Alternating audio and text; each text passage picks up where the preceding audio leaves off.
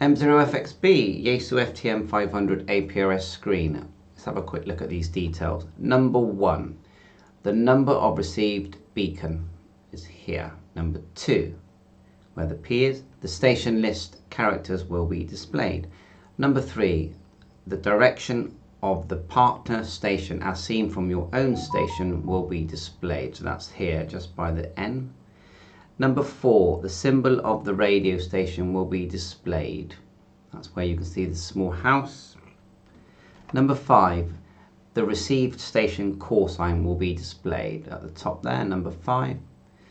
Number six, partner information. The fixed station information, fixed, will be displayed. So it says fixed here. Um, number seven, distance to the received station will be displayed. There's your distance there, 15114. Number 8, date. The date the beacon was received.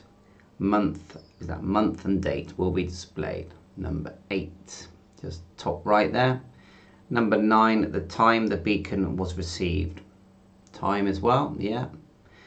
Number 10, altitude. Quick look at number 11.